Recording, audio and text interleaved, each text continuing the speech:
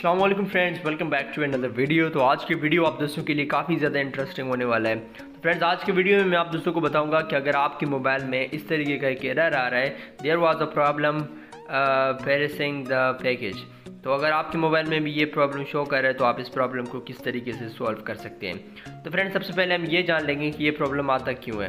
Friends ये problem तब आता है जब आपके मोबाइल में कोई भी आप एप्लीकेशन डाउनलोड करते हैं जो कि प्ले स्टोर का ना हो या कोई और थर्ड पार्टी एप्लीकेशन हो जाए या आपने क्रोम ब्राउज़र से कोई एपी के मोड यूज़ किया है तो उसका पैकेज कंप्लीट ना हो तो इस तरीके का एरर आप लोगों को शो करता है। तो आप लोगों ने क्या कर देना है? सिंपली जो भी एप्लीकेशन आपके मोबाइल में है तो आपने इंस्टॉल किया है तो वो सारा आप डिलीट कर दें। ठीक है फ्रेंड्स तो अगर आप इस तरीके से सारे एप्लीकेशन डिलीट भी करें, अगर आपका ये प्रॉब्लम सोल्व ना हो जाए तो फिर आप लोगों ने क्या कर देना है? तो यहाँ फ्रेंड्स मैंने खुद ट्राई किया है कि मैंने एप्लीकेशन तो सारे जो है ना अनइंस्टॉल किए, फिर भी ये प्रॉब्लम सोल्व नहीं हुआ। तो फिर आप लोगों ने क्या कर देना है? अपना मोबाइल को रीसेट कर देना है।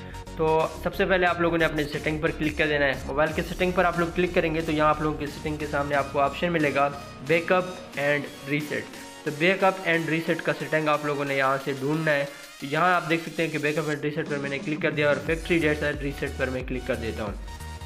फैक्ट्री डेटा रीसेट पर आप लोग क्लिक करेंगे तो यहाँ से आपको कहेगा रीसेट योर फ़ोन और यहाँ आप अपना लॉक स्क्रीन का जो है ना पासवर्ड डालेंगे, ठीक है? जो भी आपका मोबाइल का पासवर्ड है तो वही आप डालेंगे, उसके बाद जो है ना आपको डन कर देना है। तो यहाँ मैं पासवर्ड एंटर कर रहा हूँ, लेकिन ये फिर भी प्रॉब्लम शो कर रहे हैं। ठीक है तो फ्रेंड्स यहाँ से जो है ना हमारा मोबाइल रीसेट होना स्टार्ट हो गया है। तो यहाँ थोड़ा वेट कर लेते हैं।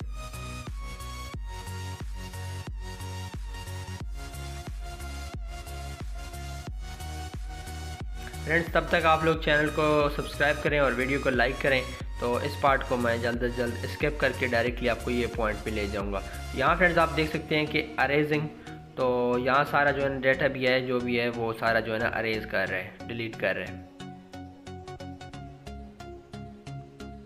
फ्रेंड्स सारा डाटा डिलीट होने के बाद क्लियर होने के बाद फिर आपका मोबाइल जो है ना ओपन हो जाएगा।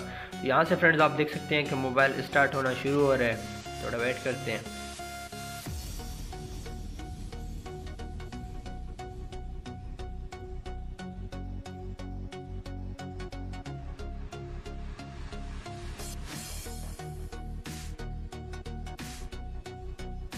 तो यहाँ फ्रेंड्स आप देख सकते हैं कि मोबाइल का रीसेट जो है ना कंप्लीट हो चुका है और अब मोबाइल जो है ना परफेक्टली काम कर रहा है। आप देख सकते हैं आप लोगों के सामने मोबाइल चल रहा है। तो वीडियो अगर आप लोगों को पसंद आया तो वीडियो को करें लाइक चैनल को करें सब्सक्राइब मिलता हूँ किसी नेक्स्ट इंटरेस्टिंग वीडियो में। तब तक के लिए खुश रहिए, खुशियाँ बांटते रहिए। अला हाफिज़। बाय बाय अगर फ्रेंड्स आपके जहन में कोई भी क्वेश्चन है तो आप कमेंट्स करके पूछ सकते हैं। अल्लाह हाफिज़।